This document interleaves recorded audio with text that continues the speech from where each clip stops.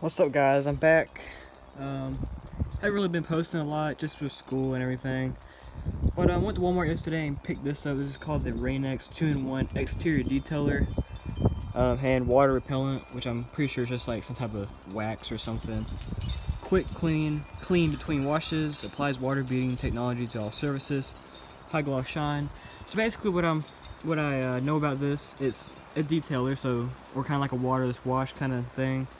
You can uh, spray it on, you know, let it sit there for a second, wipe it off, and it also adds a little bit of wax uh, protection, I'm guessing. Uh, there's the back. Not, not a lot to it. You just spray it on, wipe it in, buff it out.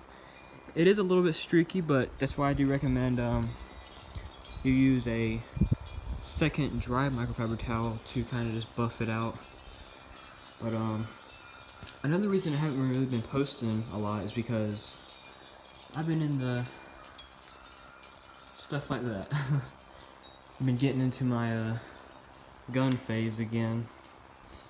But um, yeah, here's I've already done this side of the car. As you can see, it's pretty glossy. Looks good. Not a long review, but if you're looking at this, um, Rain-X 2-in-1 detailer, I recommend it. Um, they also have a waterless wash and um, a straight up like fast wax, kind of like a spray wax. But this is really good. I really recommend it.